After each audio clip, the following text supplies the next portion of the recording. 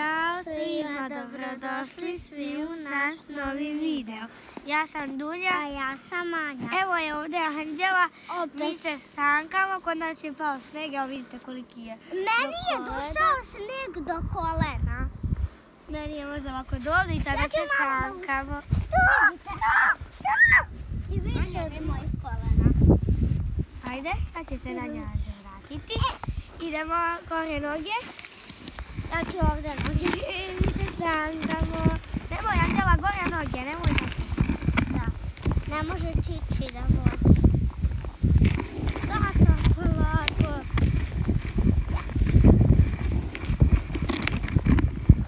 Sad možemo da kada sam pogledala u pahulje, stvarno izgledaju kao prave pahulje. Sada ću ja njih da guram. Šta je bilo, Anđeo?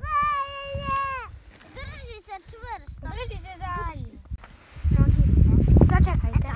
Nana, tebe Još malo ovdje ide drži. naprijed. E, tako. Nanja, drži. Zamijenila su mesta. Čekaj, opa. Idemo. Idemo. Ovo. Uh, idemo, idemo, idemo. Ja ću da trčim. Jako ćete da idete. Hopa. Hopa. Ajde, ajde, ajde. Hop. Jo. Nije pao.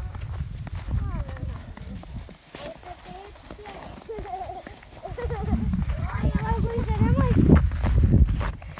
Ste to zalutale? Evo, tata će malo da mi pomogne.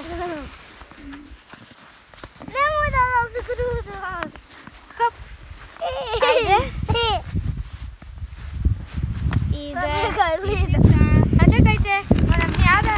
A ja? A ja? A ja? A ja? Ja ću da pravim smeška. Ja ovdje pustim na kameru. Lida, nemoj da Ja legne. sam napravila glavu za smeška.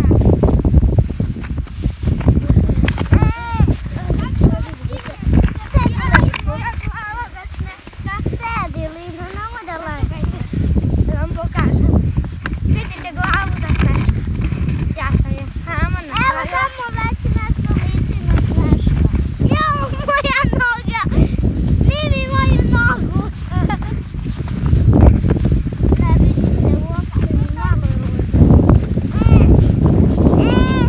Šta je bilo? Evo da. Jel hoćeš da siđeš? Pokažem šta sam napravila. Vidi ogromnu. Probaj. Nemoj da mi kvariš moju glavu za smeška. Dunja, sada ti sediš sa Anđelom. Mama! Sada ja. Majka! Ajde. Evo, malo da vam pomogu. Ne možemo da se pokrenemo. Noga. Tu noga. Evo, tu ću ja. Tako da, ako vam se svidio ovaj video, obavezno ga lajkujte, subscribeujte se. Šerujte i pišite